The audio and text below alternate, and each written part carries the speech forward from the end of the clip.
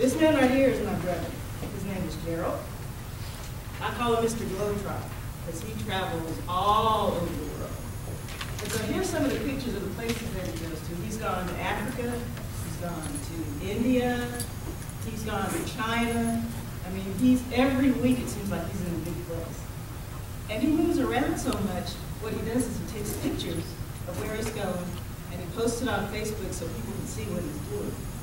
And if he hadn't done that, I wouldn't have a clue. If anybody asked me what my brother did, I could not tell them. But he's always posting a picture of where he is. The kids on the far, it's your left-hand side, the little boy holding up the picture, is a little African boy that he. He goes to different countries and he finds products that they produce in those countries and he brings them back to the United States to sell. And these are one of the little boys in the village, and he saw him taking pictures, and he hadn't seen a camera before. So what my brother had his people do is take pictures of all the little kids and give them the pictures. And this little boy was so happy, he kept putting it to his heart, because he had never seen his own face in a picture. And so he was, so my brother took a picture of that, put it up on Facebook. So these two boys are village boys, this was India, the little boy in China that he met. So everywhere he went, he would take a picture, and I don't know what he's doing here, I gotta ask him about this. He's got streamers and stuff on already. But what he'd do is he would take the picture, and then underneath the picture, he'd tell you a little bit about that person who was with. So you not only knew what he was doing for his company, you got a sense of the people he was meeting and the fun he was having, some of the stuff that they learned. I never would have known. I thought that was a boy just holding a picture. But you never would have known this boy had never seen his own picture before. Never seen it before. No. So he was really happy to have his own picture and they it for him and everything was really nice. So I wanted to introduce you to him because he's a really good example of someone who tells really good stories. When he gets home, I can't wait for him to get home because behind all that is a bunch of funny stories. And so he tells me those funny stories and he's so good at it that I end up laughing and and wiping my eyes and then trying to tell my son it never comes out right. So what I'm trying to do is just send people to the side and just say, hey, let Gerald tell you when he gets home. But the point I'm making is nobody can tell your story better than you can. And I'm new to the center. They just put me on the mailing list a couple of weeks ago. And I looked there on the website and I saw you all working on computers and building robots and I read about drones and I was thinking, where was all this stuff when I was a kid? That's neat stuff. And that's stuff that people like me need to know more about. So it'd be great every week to see you all working on your computers or see you all doing different projects. And other people want to know what you're doing. But what you got right now is you all are doing all this fun stuff. You got us grown-ups telling other grown-ups what you're doing. It's not the same as if you tell us. Wouldn't you rather be the one to tell me what you do?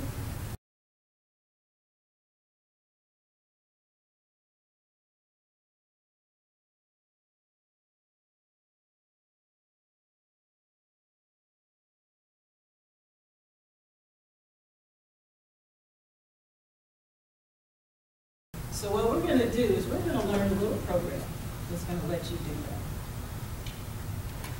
When you all are out here doing your projects, creating neat stuff,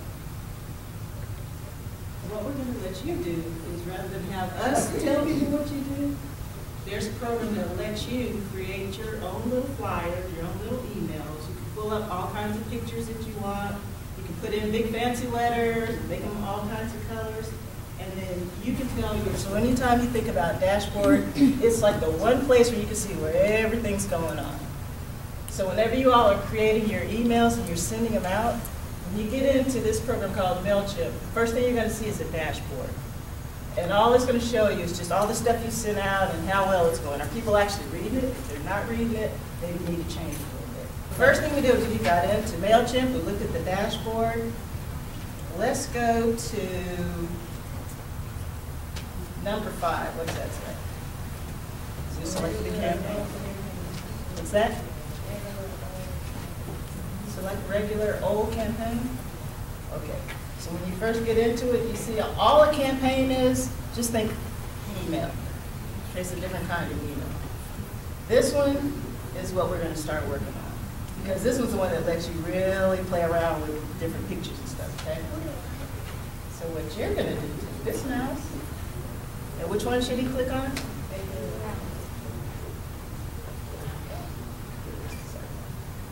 Okay, so you're on it. So what's next?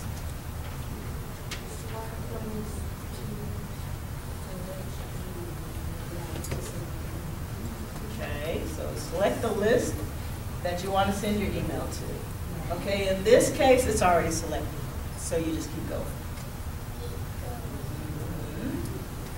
So the next one, who can read number seven?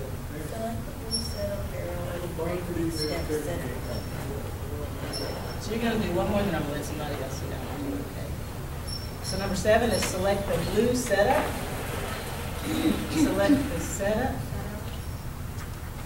The setup, click on there, or you can click on next. Okay, you did it, you did it. Stop. Right there. Thank you, sir. Somebody else wanna work the mouse? Then you'll be next, okay? Okay, so then you're gonna get to the screen. This one right here, somebody to read about that? That's eight A, what does that say?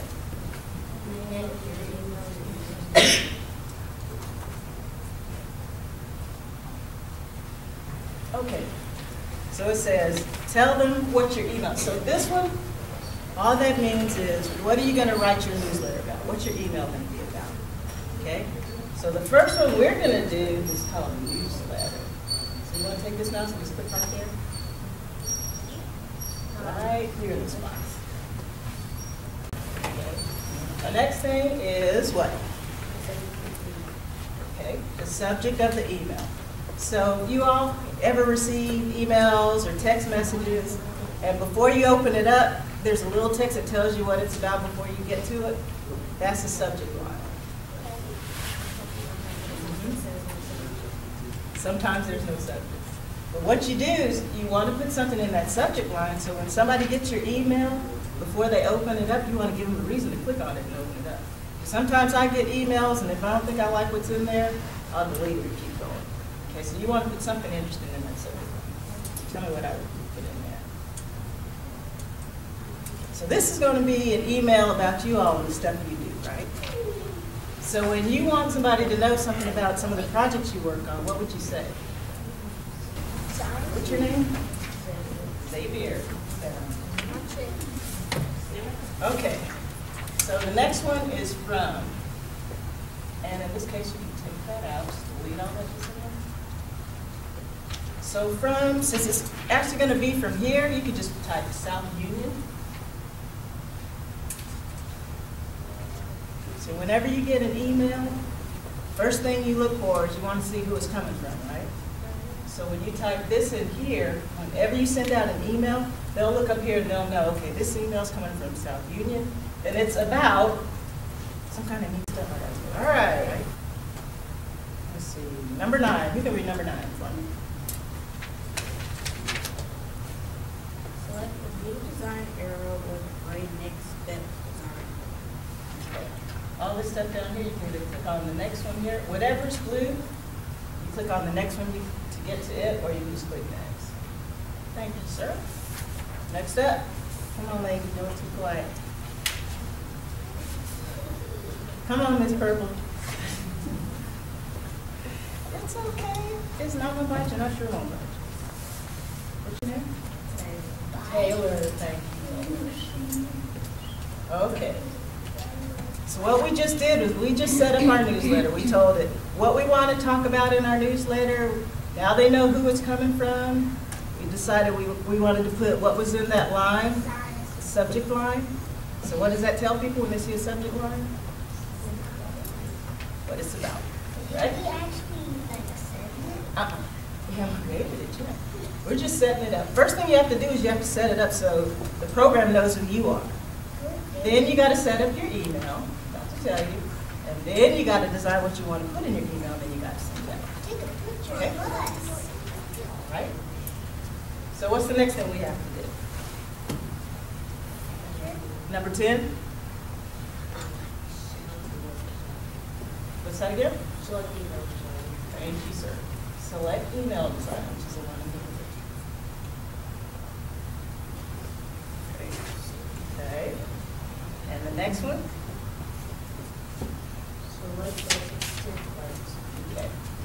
You select email designer, you get a choice of different stuff that you can do. Just go to this one right here. That's, that'll give you the easiest route to creating your emails, okay? This down here, there's a lot going on there, so let's click on basic templates. Okay. Then what do you pick next? Okay, select the template that you want to use. We've got a whole bunch of different options, and all this stuff is, if it says column one, it just means everything's on one column. If it says two columns, it means you can split your email up into two columns, okay? We're actually gonna go through an email, you all are gonna create one for Valentine's Day thing that you're doing here, and then you're gonna create an actual newsletter. So all the stuff we're going through, we're gonna walk through it again, but you're gonna, I'm gonna stand back, and I'm gonna let you all walk through it, okay? So we're gonna make it easy this time. We're just gonna pick this one right here.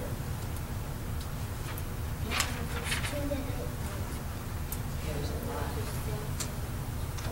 What that means? Right. Y'all heard of Facebook? Yeah. And you heard of Twitter? Okay. So this means when you send your email, if you want other folks to know about it that are on Facebook and Twitter and other stuff, then you would take this and you would put it in here. And then whenever they read your email and they want to share it with their friends or family, they click on that and then it'll go to other people. Okay, so they always want to try that. And all you gotta do is just click here and just drag it over here. See what happens. Can y'all see it? You can, you can. Have you all ever gone to your site and seen all the neat stuff they have up there? I live in our first. It's cool. So I wanted to find out more about what you all been up to. And I went on the site, went out here to the gallery page, lots of pictures. Okay, so when you're creating your newsletters, I don't know who takes the pictures and posts them out on your site, but you got a lot of stuff already out here that lets people know a little bit about what you do. So when you're creating your newsletter, if you're not quite sure what kind of picture you want to use, this might be a good place for you to start. You can look through, see some of the stuff you all have done, you see somebody you know, you can pull their picture out, and you can put it in yours. When you see a file on your hard drive that you like, you click on that file, and you open it, and it'll pop it up in. So if you've done that, you've got a lot of files that you can pick from. You click on images, all the stuff that you've already used before, like right here. So these have been used before. You click on those, and they'll pop in. Okay. So what if I want to pick another one? Come through here, scroll through, I see a little row, I'll pop it in. So once you tell it, yep, I like it, you hit confirm, send. What it just did is it sent that email to my mailbox.